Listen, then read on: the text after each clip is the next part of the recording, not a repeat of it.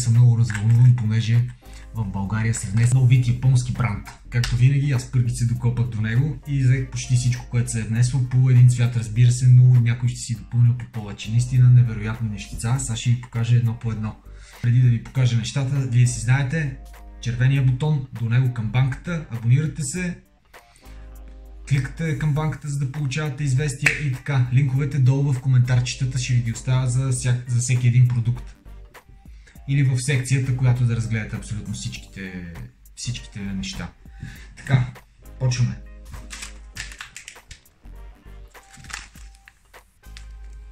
Ето, това е вакарела. 2.3 силикон, много странен. Чак в такава форма не бях виждал. Ето как е пакетирано. Сега го анбоксвам за първи път пред вас. Ууу, доста е мазничък. Да, доста е мазничък. О, fucking shit. Ето може да видите. Ето какво представлява силикончето. Ето това ще смазва костури и мини басета. Ето тук е с две, да ви го покажа. Някои ги овкусяват с сол. Той не е вкусен. Трябва да направим челендж някой да изяде едно такова нещо. По-отвратително е дори от живите. А, е така може да го видите на фона на стената. Това представлява изключително мек силикон, много мазен. Това означава, че ще се задържи много, много време. Ето силикончето. Това ще ги смачква костурите, просто ще ги смачква. За лайтарите това е убиец. Така. Да видим от вакарела, помежду другото съм си взел още един цвят, който според мен ще е супер добър за костури. Супер добър. Ето го втория. Видите мазньоче. Не знам дали го виждате, но това е много хубаво, понеже така не изсъхват силикончетата. Утре мега мазнички. Ето това също е просто перфектен цвят.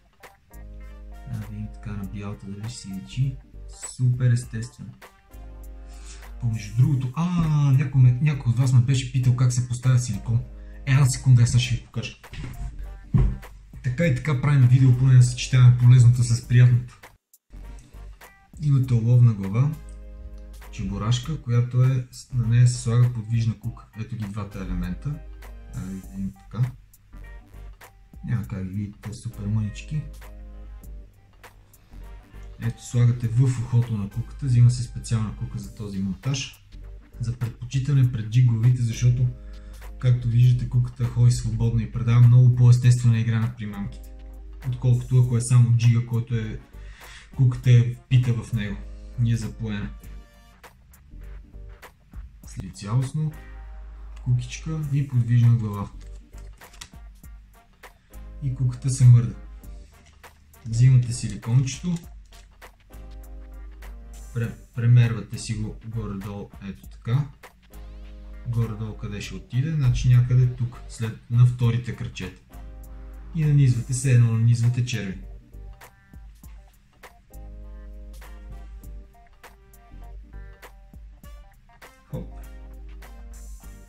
И сте готови. Ето така се нанизва силикон. Виждате ли?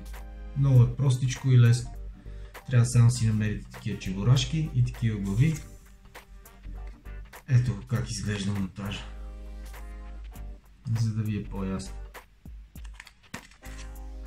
И готово. Е, това просто ги смазва костурчите. Тъкмо вече си имам готово монтажче. Така, това беше вакарела.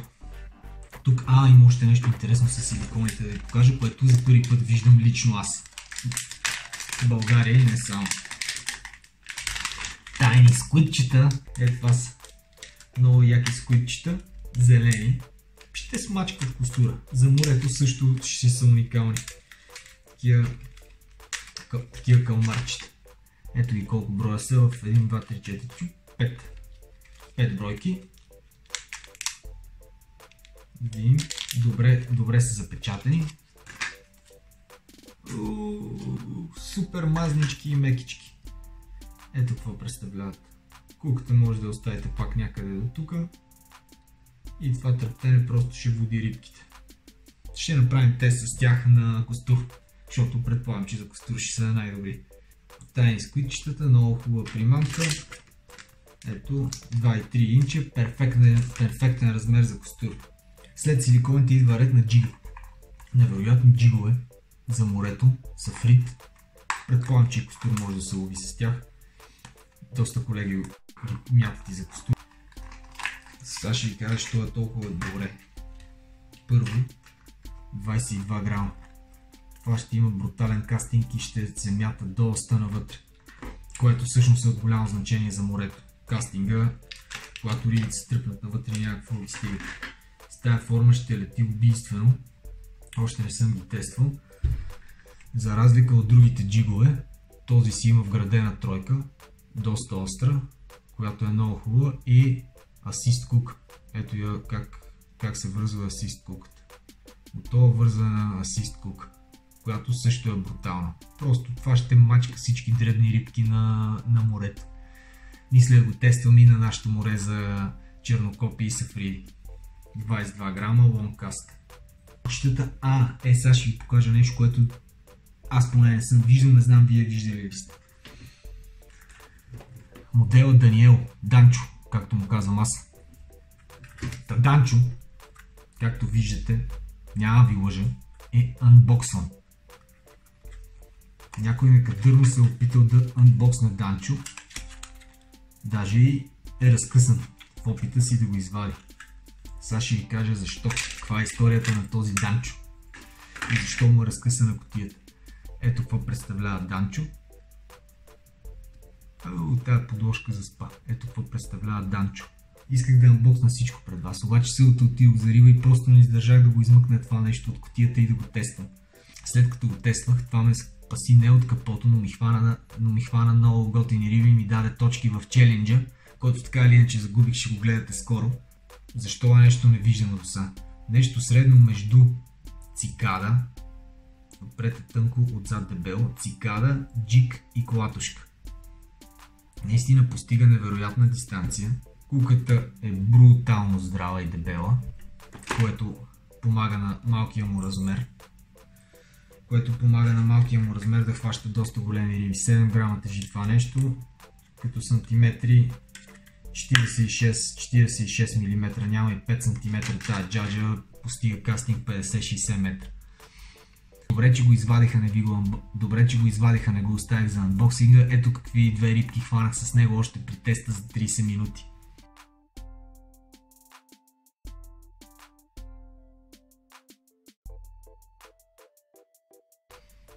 Другите не успяха да достигнат рибите, но с това първите риби бяха много далеч и достигнах ги единствено аз с данчето. Въпреки, че въдицата ми беше къса 1,90 с Бахо Рай, затова го изстреля на 50-60 метра. Успях да закува хубав клен. Ето го.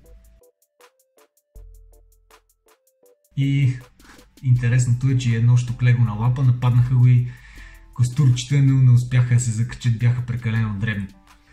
На малкия данч обратно големия даню, сега ще ви покажа и него. Ей го на. 14 грама. Тук съм си взел друг цвят, обаче ще мина и ще си взема още поне 3-4 такива неща. Действат, брутални са. Със сигурност ще взема цялата светлова гама, поне от малкия голем и още не съм го тествал, за да, за да го анбоксна пред вас. Това може би беше грешка. 14 грама Даниелчо. Да го видим него, че ми е супер любопитно. Вижте за какво става въпрос. За каква кука. Идея си нямате колко, колко е здрава куката. Куката е брутално здрава. The shit. The shit. Ето какво представлява. Може да видите как е отежнен. Ето го отдолу. 14 грама. Куката е брутална. Няма изпускане с нея дори от огромни риби. Ще го тествам за трофейни пастъри.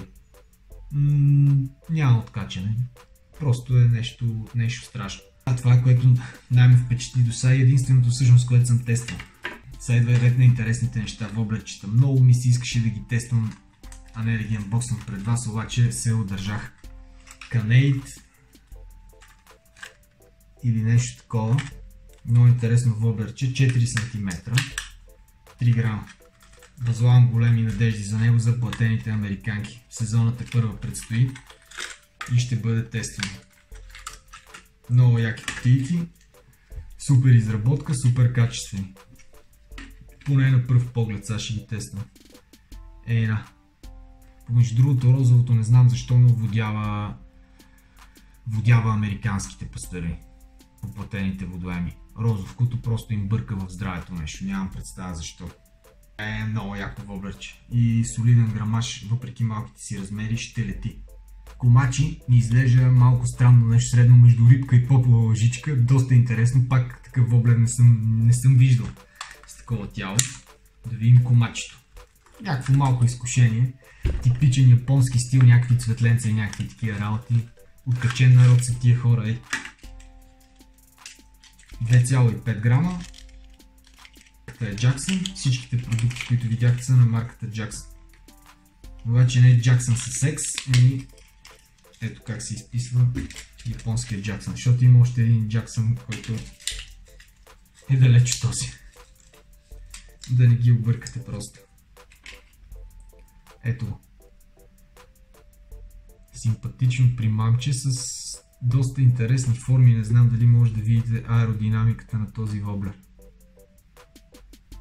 Сега снимам с предна камера, не знам колко ще се види от детайла. Това е много подходящ цвят за костури, by the way. Затова избрах такъв цвят. С оранжево покорено, нещо подобно на Fire Tiger, обаче е доста по-убити цветове. Фолтинг е този. И остана последния воблер, на който смятам да ги смачкам. Throat Tune.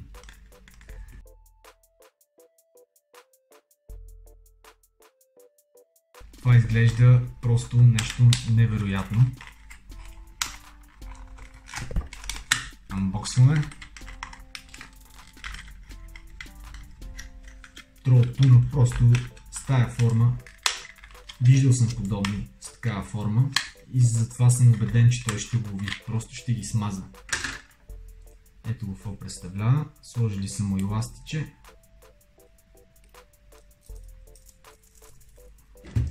Ей Уникална изработка, Trolltune. Само, че тук, лично, лично аз, мисля да си сменя куките на този, понеже смятам с него да търся по-едри пастъри. Куките са тънки, защото с тънка кука много по-лесно пробивате рибата и много по-лесно пробивате рибата. И други, другото предимство на тези куки е, че като попаднете в закачка, може да ги изправите. Обаче, ако се борите с голяма риба, примерно 2-3 кг, и нямате необходимия опит, не сте настроили добре аванса или пръчката ви е прекалено твърда, защото аз лова с повече по-твърди пръчки, не е типично пастърваджийски, за които е правен този воблер. Не обира пръчката и куките, ако е голяма рибата, тя изправя. Това е марката Jackson, на който са му харесали нещата. Долу ще оставя линкчета, къде може да намерите тези примамки. Ако това видео ви е харесало и по някакъв начин ви е било полезно, искате да гледате още такива видеа, ударете два палеца нагоре, натиснете червения бутон, който се намира някъде тук или ако камерата снима рефлектно тук и натиснете камбаната. Чао, чао от мен, до скоро Twitch фенове, очакват ви, те първо ви очакват интересни неща. Ciao.